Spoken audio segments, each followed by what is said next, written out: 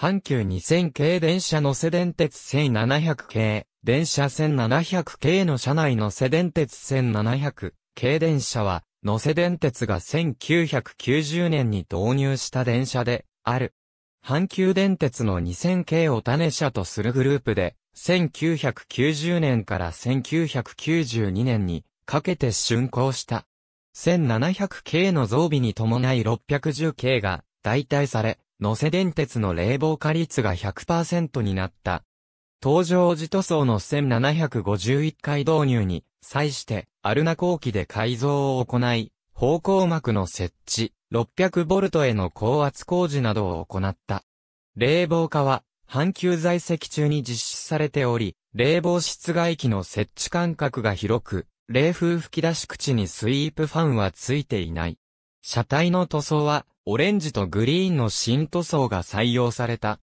オレンジは躍進と希望を、グリーンは、沿線の緑を表したもので、乗せ電鉄のイニシャルである N を形取っている。補助電源と空気圧縮機は将来の昇圧に備えて副電圧対応とされた。補助電源は SIV で東芝 BS-48-3D を空気圧縮機は D-3 ニャーを搭載する。妙見、日生型から1750型から1730型から1780型から1700 K の4両編成を蘇生する。中間車はすべて製造時から中間車車体である。車番対象は以下の通り。1757回と1758回で、旧番号が逆になっている文献もあるが、2070回1757回、及び2064回1758回が正確である。ワンマン改造は1500系での完了に続いて行われ、1750回を除く8編成に施行された。このほか、1500ボルトへの昇圧工事や塗装変更が行われている。2014年に1754回の1754の全消灯が試験的に LED に改造された。その後 3100K を含むた編成にも波及し、2016年8月までに全編成の全消灯が LED となっている。2017年よりスカートの設置が開始された。1754回を皮切りに 3100K を含むた編成にも波及している。ただし、1752回は廃車まで設置されていなかった。2018年頃より一部編成で、運転台の速度計のデジタル化と ATS の更新が行われ、5100系と同等のものに交換された。2020年現在、更新されていないのは1754回と3100系3170回のみである。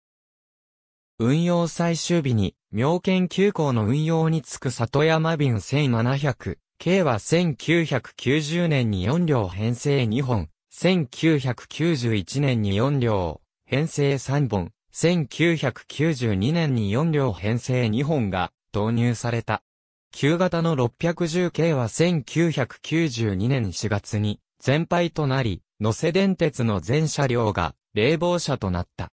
1995年には1700系の4両、編成3本を6両編成2本に組み替え、6両編成の運用を開始した。1997年の全線ワンマン運転開始に伴い、1700系の6両、編成1本が4両編成化された。6両編成での運用は2000年の終日ワンマン化まで実施された。2003年のダイヤ改正による特急日清エクスプレスの増発に伴う4両編成の運用源を受け、最後までワンマン改造未施行で運用離脱状態にあった1750回が余剰となり、2005年3月31日付で廃車された。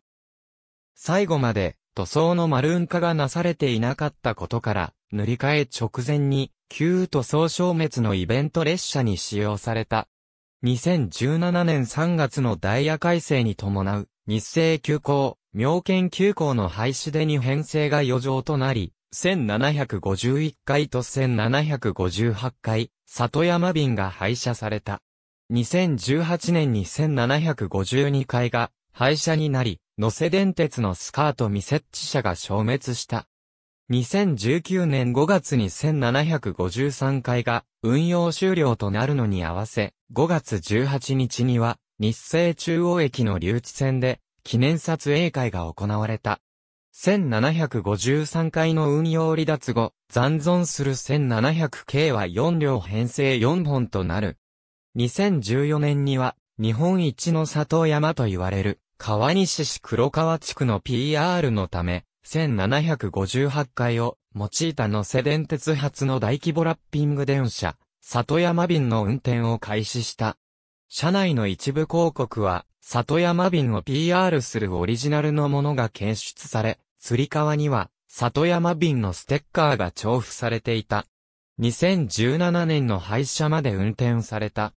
2018年2月から、川西市出身の西野昭弘原作の絵本のイベント、煙突町のプペル光る、絵本店員川西を PR するラッピングが1752回に施された。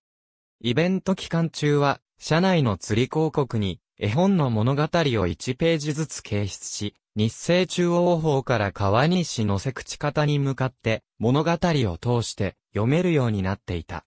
イベント後は HM を取り外し、広告も標準のものに戻されたが、ラッピングはそのままで5月の廃車まで運転された。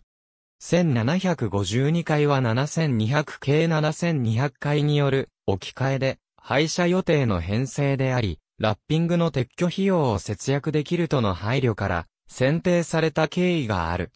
2020年6月、1700系、導入30周年を記念したヘッドマークが1757回に掲げられた。12月には1700系の種車である阪急2000系が製造60周年を迎えたことを記念して、1754回にヘッドマークと車内プレートが掲げられた。日清中央駅での記念撮影会が予定されていたが、新型コロナウイルス感染拡大による大阪府の外出自粛要請を受けて中止となった。2021年2月より沿線中学校、高校の卒業式を祝う祝電が1754回で運行されている。前面にヘッドマークが2枚掲げられ、各社内には、それぞれの4校の祝福メッセージが掲載されている。導入が完了した1992年9月30日、現在の編成。1750回は2005年に廃車となったが、それ以外は2014年4月1日現在も同一。ありがとうございます。